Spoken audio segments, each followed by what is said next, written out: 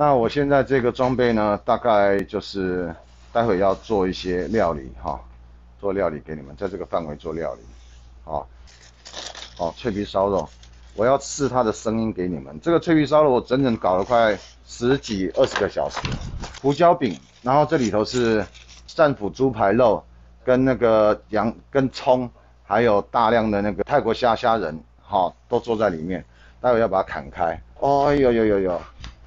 日本北海道昆布，日本柴鱼片，哈，然后溏心蛋，这些呢都是要做给我们的同事吃的哈。这日式烫虾呢，分别有这个炒虾跟白虾，那么所采用的制作方式呢，就是味淋哈，酱油，各位，如果你虾子呢是做成这个形状哈，这个叫 L 型，L 型，L 型呢是最棒的，哈，最棒的。如果做成 U 型的呢？做成 U 型的呢？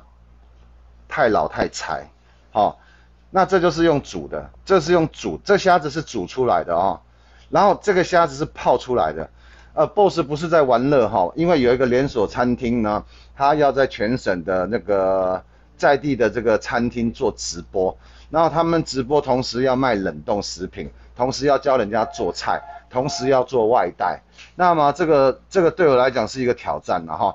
今天这个日式烫虾呢，呃，做法很简单哈。哇，这个都是 L 型的哈，煮的虾跟烫的虾两个结果是不同的。好，准备撒开来。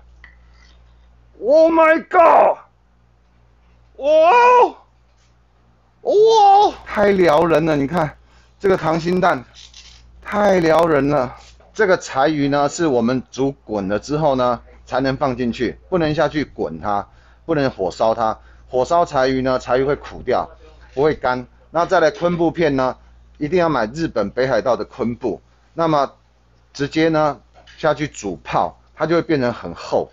它原本进去只有一小节，结果就会泡出很厚的昆布来。那溏心蛋呢，大概就是火火开了之后呢，计时四分钟。